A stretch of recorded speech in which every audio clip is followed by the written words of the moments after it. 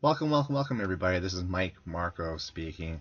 And uh, the topic I'm going to talk about today is I get the question of what are the best blog sites to use and where should I put my blogs? Uh, is there any uh, issues with regards to having different blogs and so on? And I really want to do is I want to clarify really with this this uh, chart that I'm showing here on how to use blogs.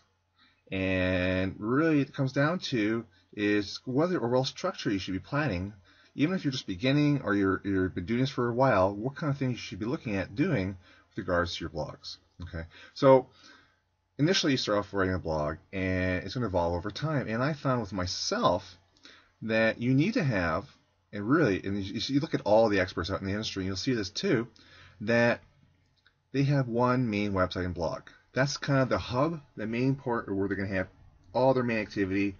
Everything is right there.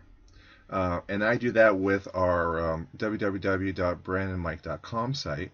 And from there, I, we have probably like half a dozen um, secondary blogs on, on, various topics. Some are based on our Empower Network uh, um, affiliate products.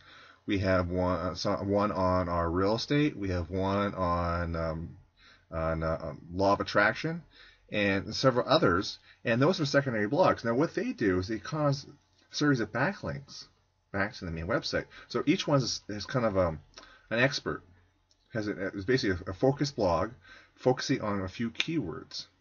Okay, where the main blog has several different keywords, it's our main hub. It's really focusing on the branding of ourselves.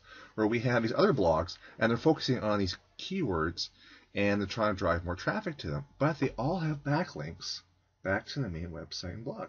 Okay, and the main website and blog will have uh, several different capture pages to help to, to, for a reason you want to capture leads, where you're trying to sell affiliate products, promote webinars, and so on, or just trying to gather a list.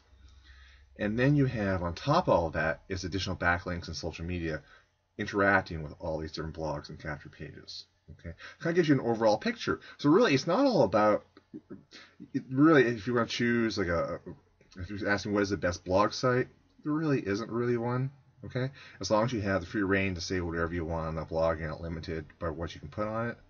Um, some are paid, pay, uh, pay monthly. Some are free.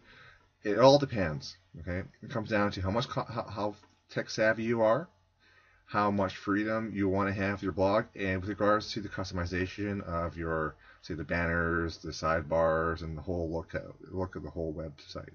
So uh, but for the most part, there really isn't one best one. It comes down to when we have on the main website and all these secondary blogs, it creates this huge network, it's like a web, to bring and direct all your your um, viewers to your main website. So everybody's pointing back. In fact, your main website points back out as well. to secondary blogs to generate additional traffic and backlinks to the secondary blogs that can even better ranking. So you can see you have backlinks going back and forth, and then you have the auxiliary backlinks that direct to all the other blogs. And we have like multiple different like WordPress blogs and, and social media, everything else, creating this large network of links and backlinks and secondary links and the whole thing. So I really hope this helps kind of give you an overall picture with regards to how blogs work and how you should start building.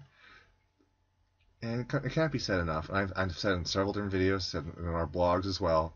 The key is to blog daily shoot videos daily, embed your, your, your videos into your blogs, and grow that network, grow that that following. The more you can get out there, the better. Okay, so blog every day, videos several times a week. Okay, just build that network. If you blog a video every day, it's even better. Build that up, and uh, over a course of time, you're going to create such a large collection, and you're going to have develop a following that you're going to be able to uh, to grow your business, whatever you're trying to promote. Okay. So that's it for now. Have a good one. Bye bye.